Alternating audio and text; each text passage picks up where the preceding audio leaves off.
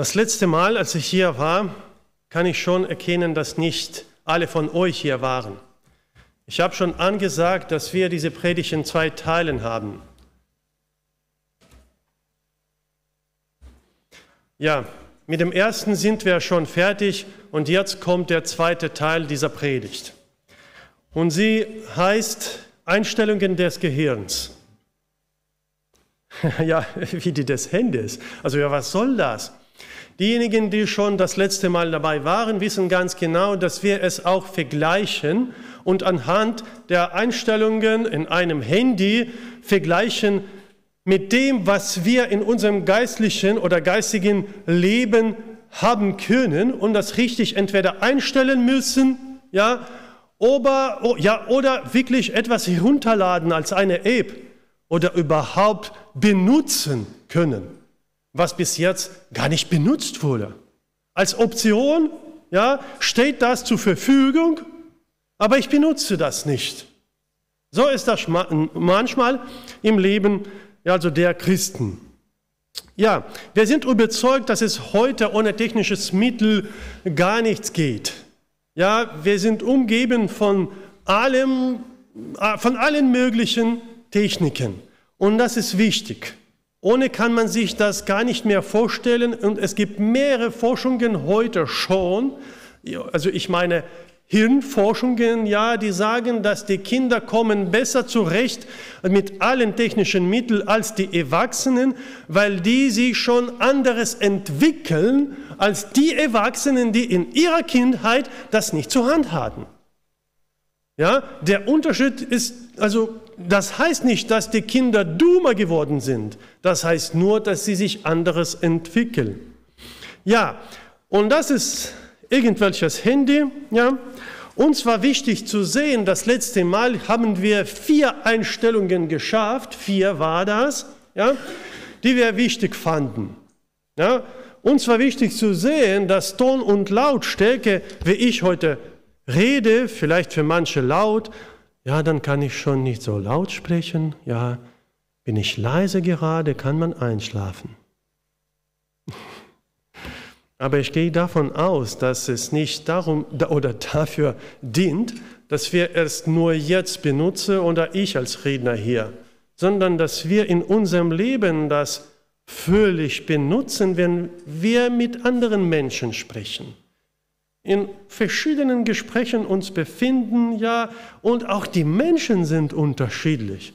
Und es ist wichtig, nicht zu vergessen, dass wir diese Gabe zu sprechen nicht umsonst haben. Wirklich. Ja, dafür auch hier äh, die äh, Bibeltexte, die uns das geholfen haben zu verstehen, äh, wie wichtig ist, ja, die Stimme richtig zu benutzen.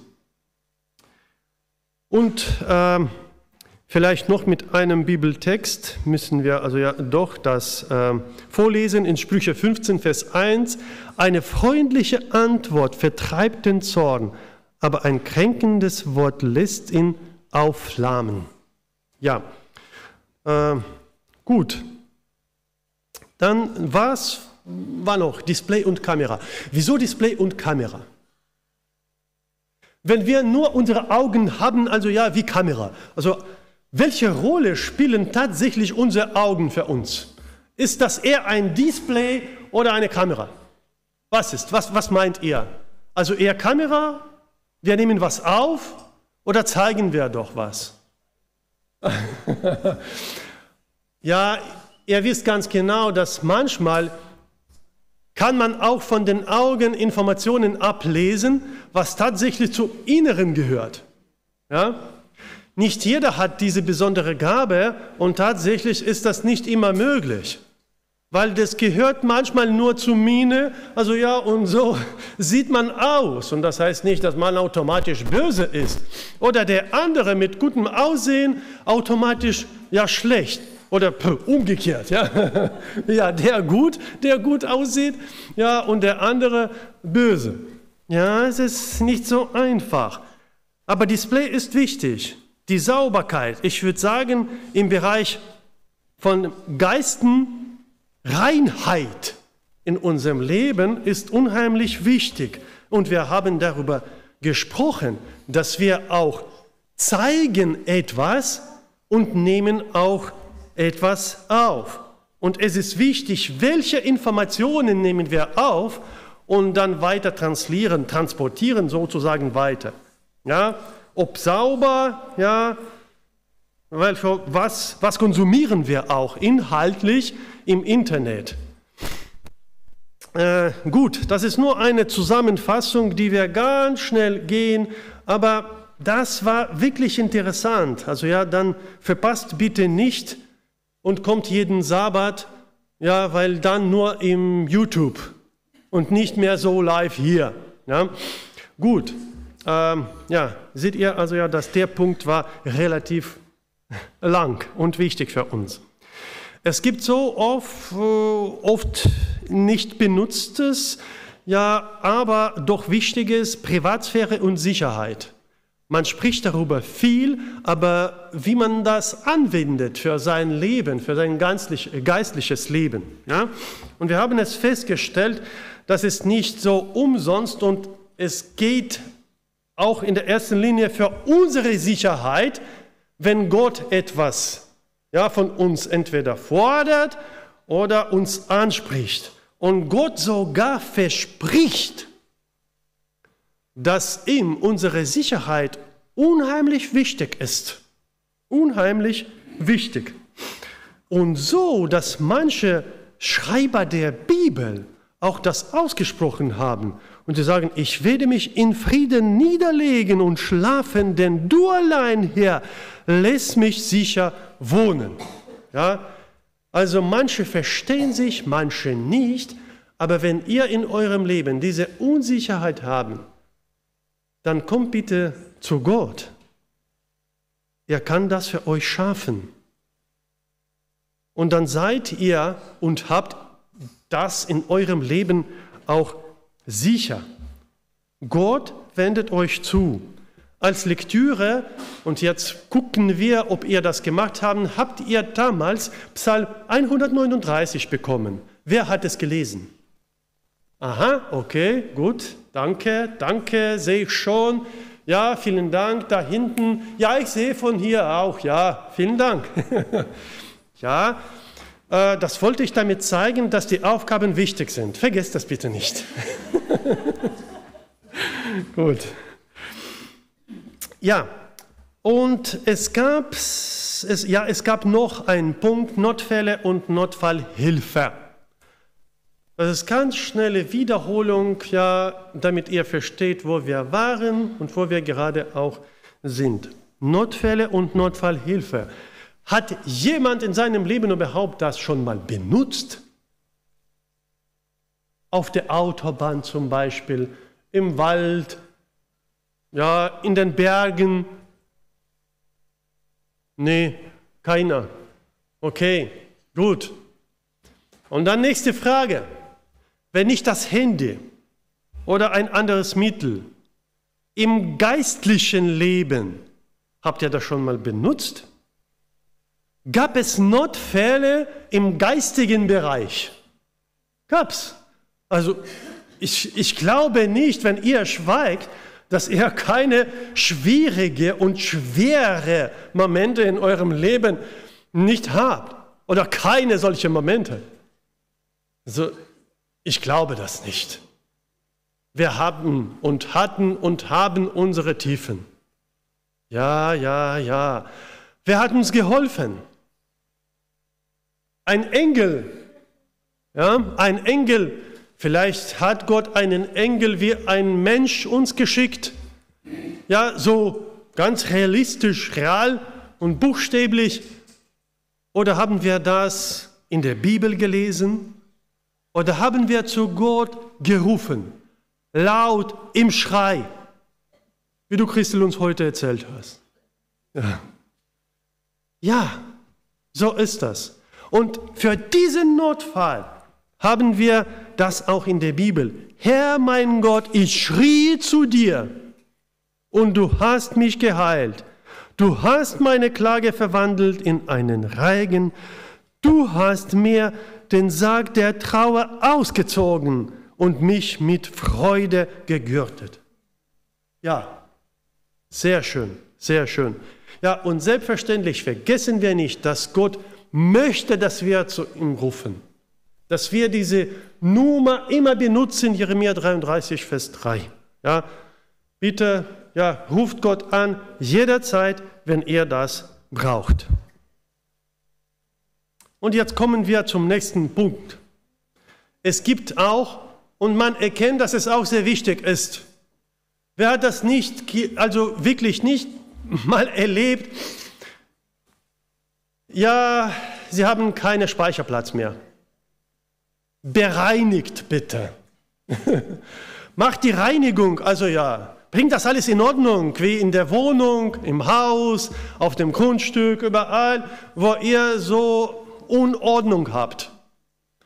Aber wenn auch manchmal Ordnung herrscht und ihr erkennt, ja, das ist eine gewisse Ordnung, wenn alles so die Wand, also der Wand entlang in meine Wohnung so gestapelt mit unterschiedlichen Boxen ist. Ja, das ist eine gewisse Ordnung auch. Im geistlichen Leben ist das auch sehr wichtig, ja, eine Ordnung zu haben. Was passiert im Speicher tatsächlich? Es ist wichtig, ja, Informationen ordentlich zu speichern, darauf zu achten, dass genügend freier Platz vorhanden ist und äh, sich von unnötigen Informationen zu befreien. Also äh, nochmals, damit ihr das nicht vergesst, obwohl das Bild hier von einem Handy ist, ja, könnte eventuell hier also ja ein Hirn von einem Menschen sein. Ja? Es geht genau darum, wie es bei uns abläuft.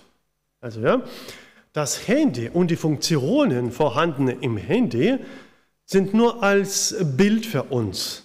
Eine Darstellung und dient nur dafür, dass wir daraus etwas lernen und für uns, fürs geistliche Leben mitnehmen können. Gut? Ja, es ist wichtig. Genau. Dann steht auch mal in Sprüche 4, Vers 23, behüte dein Herz mit allem Fleiß, denn daraus quillt das Leben. Hm, sehr interessant. Was bedeutet das? So viel wie möglich, also ja, was, was heißt? Also wie viel Platz gibt in meinem Herz? Also ja, selbstverständlich wissen wir schon ganz genau, die die Bibel studieren heute, ja, dass es damals war das Herz so äh, ein Raum dafür, was Mensch heißt. Alles, was passiert, passiert im Herz. Das Wichtigste im Leben, was heute für uns wir sagen, ja, was ist da? Also ja, da hast du kein Herrn im Kopf. Ja? Also damals war das im Herz alles. Ja, wenn, wenn immer noch heute äh, jemand sagt, also ja, ach, das, das schmerzt mir auch hier, ja, dann seid ihr von der alten Schule, also ja, heute nur hier, nur oben. ja, also was, was bedeutet das? Behüte dein Herz mit allem Fleiß. Also das heißt, ja, wenn es schmerzt, was soll ich? Also ja, bald Herrntropfen nehmen? Also ja, was, was bedeutet das? Vielleicht können auch Baldrian-Tropfen in manchen Fällen gut helfen. Ja, in bestimmten Situationen sicherlich. Aber man könnte eventuell die Antwort auch weiter in Versen 24 und 27 finden. Ja, äh, guckt bitte also ja, was steht auch in einer anderen Übersetzung. Wenn, wir immer, wenn ihr immer noch auch zu Hause mit einer Übersetzung nicht zurechtkommt und, und Frage bleibt offen, was soll das, was bedeutet praktisch, nehmt euch einfach andere Übersetzung. Das heißt nicht bessere, überhaupt nicht. Ja, es geht nur darum, vielleicht sieht ihr das unter anderem Winkel, in anderem Licht. Ja, und jetzt sehen wir das schon. Da steht ja in einer anderen, was ich dir jetzt rate ist wichtiger als alles andere. Achte auf deine Gedanken, denn sie entscheiden über dein Leben. Wow, Gut erklärt. Vielen Dank. Aber nicht immer. Also ja, diese Übersetzung bitte auf keinen Fall für, die, äh, ja, für das Buch Offenbarung.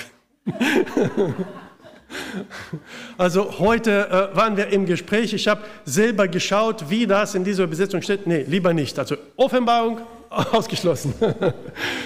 ja, aber dafür, also für andere Sachen wirklich, auf jeden Fall. Es gibt auch andere Übersetzungen, ja, die auch sehr behilflich sein können. Ja, aber was findet man als Antwort auf die gestellte Frage, was heißt das praktisch? Was bedeutet das für mein Leben? Und der weise Salomo, ja, der wusste ganz genau, dass wir diese Frage stellen können. Und er gibt die Antwort. Ja? Lass uns gemeinsam lesen. Verbreite keine Lügen, vermeide jede Art von falschem Gerede. Halte, halte dir immer vor Augen, was gut und richtig ist und gehe geradlinig darauf zu. Wähle sorgsam deine Schritte und weiche nicht vom rechten Weg ab. Sehr schön.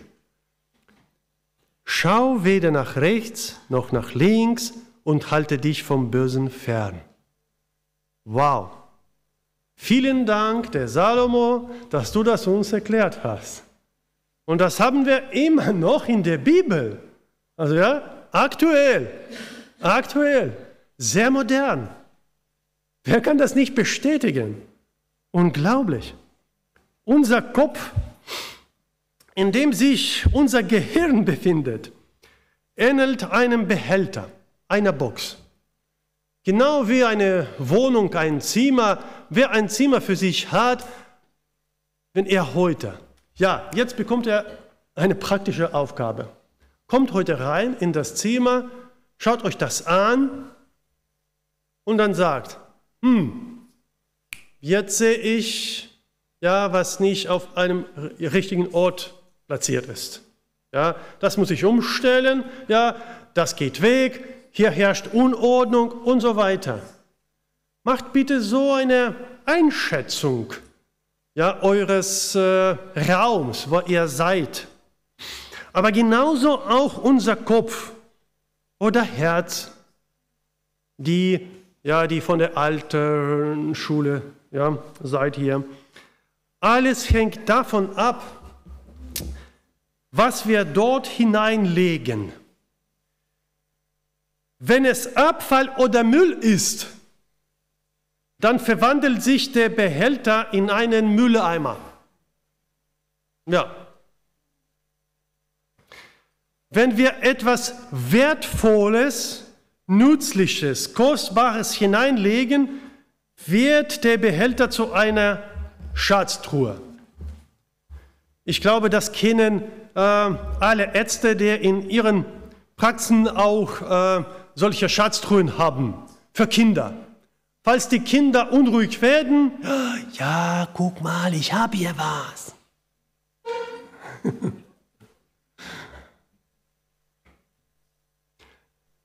Ich kann das auch damit vergleichen, was Gott für uns hat. Werden wir unruhig, er öffnet für uns dieses Buch und sagt, guck mal, ich habe für dich was.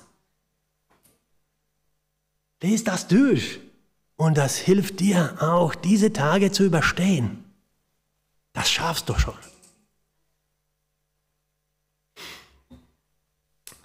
Ja, und dann verwandelt sich auch ein Mensch in so ein äh, wertvolles, kostbares Behälter, eine Schatztruhe, wenn, wenn es um etwas Wertvolles, Kostbares und Nützliches geht. Also alles hängt davon ab, was wir dort hineinlegen und was wir in den Tiefen unseres Gedächtnisses behalten. Also Groll, Stolz, Hass und etc. aus dem Team hm. oder im Gegenteil. Wir befreien uns davon, wie von unnötigem Kram Jeder von uns kann also darüber nachdenken und sich daran erinnern, was er in seinem Speicher behält. Und möglicherweise das finden, von was er sich schon lange trennen sollte. Und wieso? Um Platz für etwas Wichtigeres, Wertvolleres und Nützlicheres zu schaffen. Ja, einer äh, meiner Kollegen wurde zufällig Zeuge, jetzt kommt wahre Geschichte. Ja, ja, wahre Geschichte. Einer meiner Kollegen wurde zufällig, aus reinem Zufall, Zeuge eines traurigen Ereignisses.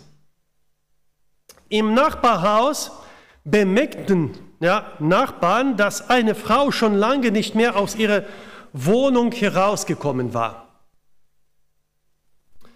Sie konnten nicht genau sagen, ob sie zu Hause oder weggefahren war.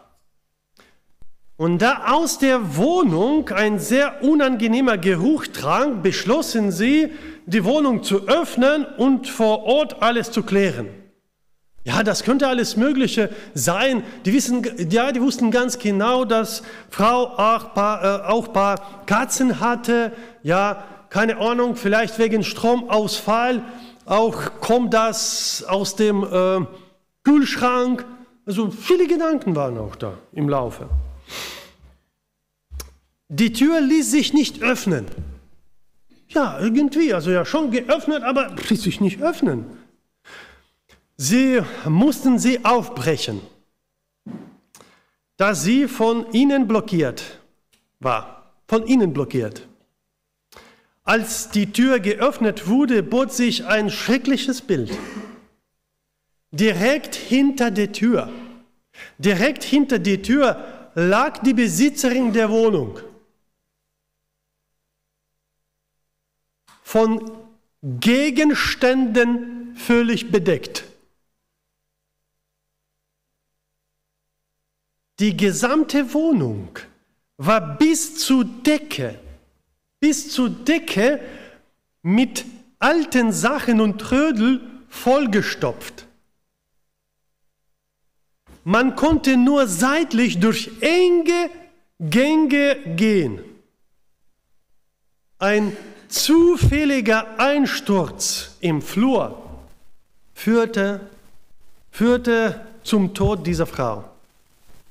Sie konnte sich unter der Last nicht einmal bewegen oder um Hilfe rufen und starb direkt hinter ihrer Wohnungstür. Schreckliches Bild, aber eine Darstellung auch für uns und Warnung. Hm, vorsichtig. Ich bin kein Mülleimer. Ich bin etwas Wertvolles und Kostbares. Wir kommen zum Punkt 6. Ja, Sprache. Oh, wir waren schon teilweise dabei, aber nur mit Ton. mit Sprache immer noch nicht. Wie wichtig ist die Sprache? Die Einstellungen gibt es schon, also kann man alle möglichen Sachen einstellen. Wie wichtig ist es, die Sprache im Smartphone für Kommunikation richtig einzustellen? Haben Sie bemerkt, dass wenn Sie Text eingeben, der Editor, also ein Redaktor, ja, in Ihrem Telefon manchmal automatisch Wörter einfügt und nach eigenem Ermessen bearbeitet. So hieß es früher diese Funktion Tenoin, glaube ich, ja, oder äh, irgendwie. So, egal wie. Und dann seht ihr also ja, wenn die Nachricht schon weg ist, oh, was war das? Manchmal scheint es mir auch, nicht nur mir, auch also ja, wenn ich mit anderen so Nachricht, also nachrichtmäßig kommuniziere, dass drinnen ein ungebildeter und sehr unhöflicher Assistent sitzt. Sie haben sozusagen mit offenem Herzen und gutem Willen geschrieben und er hat alles ruiniert. Es stellt sich heraus, dass diese Einstellungen auch eine wichtige Rolle in der Kommunikation spielen, damit wir richtig verstanden werden. Die Sprache sollte verständlich sein und wie es zum Beispiel auf YouTube geregelt wird, sollte die Rede sauber und frei von Beleidigungen sein. Ja? Wenn es schon so im YouTube ist, dann selbstverständlich schon auch unter uns. Ja, selbstverständlich. Vielleicht war das nicht immer für jeden selbstverständlich, aber dafür diese Regel. Wir haben heute über das Gesetz gesprochen und haben festgestellt, ohne Gesetz herrscht die Anarchie. Ja, es gibt keine Sicherheit und keine richtige Freiheit ohne Gesetz.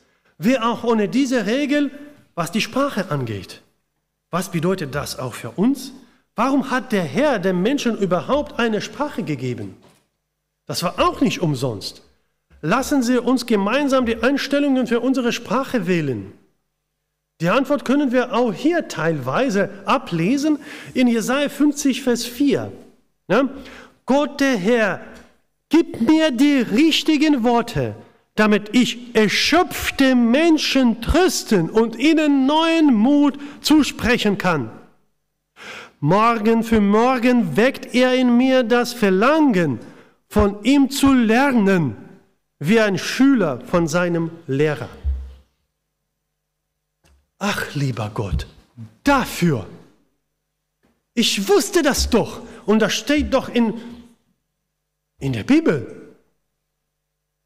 Ja, Jesaja 50, Vers 4. Hm, vielen Dank. Noch etwas im Neuen Testament. Es heißt doch in der Heiligen Schrift, wer sich am Leben freuen und gute Tage erleben will, der achte auf das, was er sagt.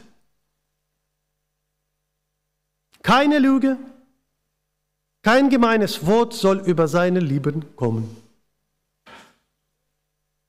Vielen Dank, lieber Petrus.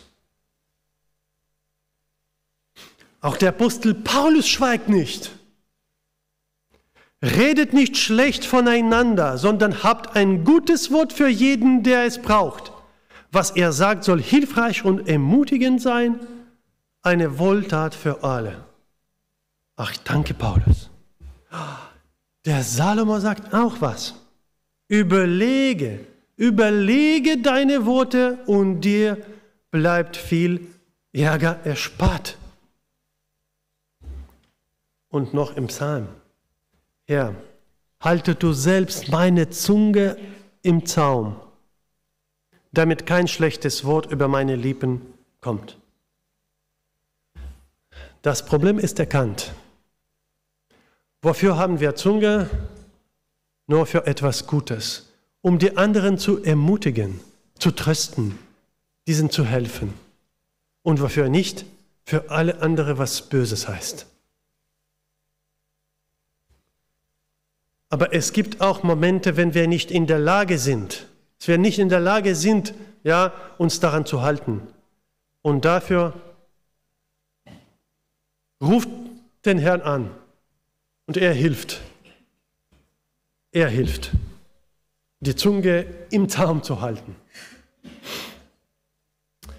Update. Ihr habt das schon festgestellt, dass Update sehr wichtig ist. Ohne Update für Technik geht heute nicht. Also doch einigermaßen, aber ja, mag sein, dass es nicht mehr so kommuniziert, nicht richtig. Ja, und natürlich könnt ihr sagen, dass es manchmal nutzlose Updates gibt. Ja, kann ich auch bestätigen. Aber das ist nur was für die Technik und nicht was für die Menschen von Gott kommt. Gott bietet uns heute an, Update zu machen. Mach doch Update. Mach das regelmäßig. Wenn es doch für die Technik da ist und sogar die Funktion, also ja, lieber immer anzuhaben. Und wir sagen, ja, das ist wichtig. Dann seid bitte bereit, im Geistlichen und Geistigen Update zu machen. Es ist wichtig. Auf jeden Fall. Auf jeden Fall.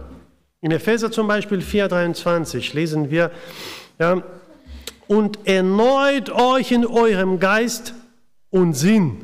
Erneut euch in eurem Geist und Sinn, sagt uns Luther in seiner Übersetzung. Gut, was heißt das? Vielleicht noch etwas. Ja, da kommt noch eine Übersetzung. Lasst euch in eurem Denken verändern und euch innerlich ganz neu ausrichten. Vielen Dank. Vielleicht noch etwas kommt Gutes aus Genf zum Beispiel. Ja? Lasst euch in eurem Denken erneuern durch den Geist, der euch geschenkt ist. So viele Facetten. Und das hilft uns wirklich zu verstehen, dass es wichtig ist. Diese Erneuerung für Christen ist unheimlich wichtig. Vergiss das bitte nicht. Warum brauchen wir überhaupt das? Ja, schließlich also wurden wir einmal getauft und das Update hat bereits stattgefunden, oder? Irgendwann, vor 30, 20 Jahren, vor einem Jahr, ja, vor fünf, vor zehn Jahren. Also reichte das aus? für das ganze Leben, wenn wir auch für diesen Baum, also wenn, wenn, wenn sogar der Baum so viel braucht, und zwar jedes Jahr, auch im Winter, nicht nur im Sommer, wie viel brauchen wir? Welch, welche Veränderungen kommen doch mit allen Ereignissen unseres Lebens? Und ob wir für alle diese Veränderungen bereit sind, es stellt manchmal fest, nicht immer, nicht für jeden Fall. Ah. Vielleicht braucht das Gerät Update. es gibt einen Weg, der einem Menschen recht erscheint, aber sein Ende sind Wege des Todes. Vergiss das auch nicht. Und entscheidend ist hier, wie für uns immer so subjektiv erscheint. Sehr subjektiv erscheint es hier ein Schlüsselwort. Verlasst euch bitte nicht auf eure Gefühle im geistlichen Bereich. Gerade deshalb heißt es in Epheser 4, 23, ja, was wir schon gelesen haben, lasst euch in eurem Denken verändern und euch innerlich ganz neu ausrichten. Weil die Maßstäbe und Wege dieser Welt ganz andere sind als die von Gott, ja, und nicht die Gefühle, sondern die Erkenntnis hat Vorfahrt. Deswegen Römer 12, Vers 2. Passt euch nicht den Maßstäben dieser Welt an, sondern lasst euch von Gott verändern, damit euer ganzes Denken neu ausgerichtet wird. Nur dann könnt ihr beurteilen, was Gottes Wille ist, was gut und vollkommen ist und was ihm gefällt. Es gibt noch etwas, aber ja, ich sehe, dass ihr schon müde geworden seid, aber ich kann schon sagen, das ist das Letzte von mir aus, aber nicht von eurem Handy. Nützliche Ratschläge und neue Funktionen. Ich habe nur vor kurzem erfahren, dass es überhaupt sowas gibt. ja, ich habe mich recherchiert und gesehen, boah, da gibt's was auch in meinem Handy. Und ich wusste davon nichts. Es konnte mir schon jahrelang helfen. Und ich habe das nicht wirklich also benutzt. Und dann dachte ich, Moment mal, wenn es so in meinem Handy ist, vielleicht genauso, wenn wir das so auf das Geistliche übertragen, sagen, für uns auch. Vielleicht gibt es etwas, irgendwelche Ressourcen noch, die wir noch gar nicht benutzt haben. Wenn sogar ein Handy hat das. Nützliche Ratschläge und neue Funktionen. Und vergiss das auch nicht. Wer regelmäßig geistliches Update hat, der bekommt neue Funktionen und Ratschläge. ja, das ist wichtig. Also die Einstellung ist wichtig, nicht nur für das Handy, für ein Tablet oder andere Sachen, sondern auch für einen Menschen, für dich, für mich, für jeden. Vergiss das nicht. Ja, also, manchmal ist die einfache Wiederholung eines schon bekanntes Themas schon hilfreich, wenn es nicht um was Neues, aber trotzdem, ja, es ist sehr wichtig, nicht, nicht, nicht zu vergessen, was gesagt wurde. Zum Beispiel hier im Josua 1, Vers 8. Sag dir die Gebote immer wieder auf. Werde Tag, denke Tag und Nacht über sie nach, damit du dein Leben ganz nach innen ausrichtest. Dann wird dir alles, oh, alles gelingen, was du dir vornimmst. Ich, ja, ich denke, das ist kein leeres Geschwätz hier. Das ist was Ernsthaftes. Es ist, als ob man ungenutzte Ressourcen für ein spirituelles Wachstum und eine Erweiterung des spirituellen Horizonts aktiviert, um zu versuchen, die Welt mit Gottes Augen zu sehen. Falls die Ressourcen schon nicht mehr vorhanden sind, sagt der Herr in Jeremia wieder 33, Vers 3. Ruf mich an. Ruf mich an. Also, liebe Geschwister, liebe Gäste, wenn meine spirituellen Einstellungen, ich meine jetzt jeden gerade, nicht nur mich, in Ordnung sind und die von jedermann in der Kirche, können wir ein anderes Leben führen, können wir unseren Mitmenschen besser helfen, in verschiedenen Situationen adäquat zu reagieren. Unser geistlicher, geistiger Zustand wird von ganz anderer Qualität sein. Unser Einfluss auf andere in der Familie, auf der Arbeit, in der Kirche wird ebenfalls von anderer Qualität sein. Es wird eine gute Atmosphäre im Haus geben das Leben meiner Kinder und Enkelkinder könnte sich anderes gestalten. Und überhaupt werde ich einfach das Reich Gottes erreichen. Du guter und treuer Knecht, du bist über wenigem treu gewesen. Ich will dich über viel setzen. Geh hinein zu deines Herrn Freude. Zum Schluss. Es gibt Momente im Leben, in denen man nicht mehr weiß, wie es weitergeht. Und ich weiß ganz genau, ganz genau, dass unter uns heute auch solche Menschen gibt. Das könnt, dann könnte man auf einen besonderen Dienst zugreifen.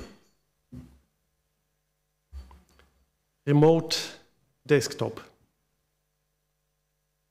Das bezeichnet den Fernzugriff auf den Desktop eines Computers. Und dabei werden Anwendungsprogramme auf einem Computer ausgeführt und auf einem anderen Computer dargestellt und bedient. Jesus sagt, kommt alle her zu mir, die ihr euch abmüht und unter eurer Last leidet ich werde euch Ruhe geben. Vertraut euch meiner Leitung an und lernt von mir, denn ich gebe behutsam mit euch um und sehe auf niemanden herab. Wenn ihr das tut, dann findet ihr Ruhe für euer Leben.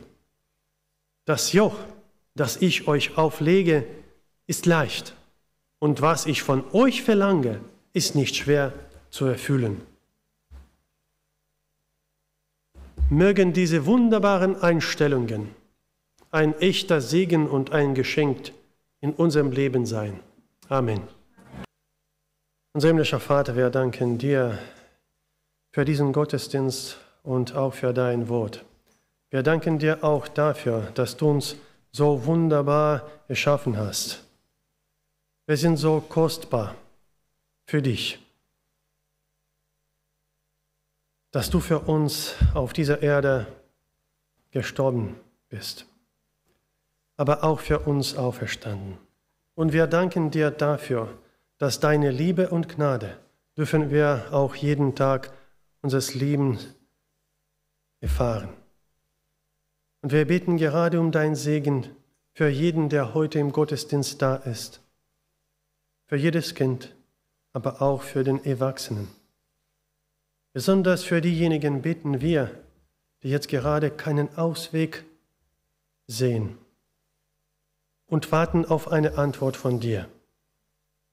Auch wir als Gemeinde brauchen deine Leitung und Führung und dass du uns auch die Antworten auf unsere Fragen gibst. Lieber Herr, wir brauchen dich überall, wo es auch um die Einstellungen unseres geistlichen Lebens geht, dass wir alles richtig machen und nichts falsch.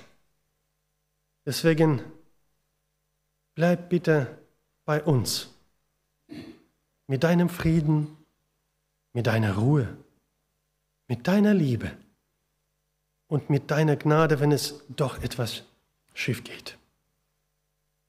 Aber auch dann rufen wir zu dir um Hilfe und Vergebung. Komm bitte. In Jesu Namen. Amen. Der Herr segne dich und behüte dich. Der Herr lasse sein Angesicht leuchten über dir und sei dir gnädig. Der Herr erhebe sein Angesicht auf dich und gebe dir Frieden. Amen.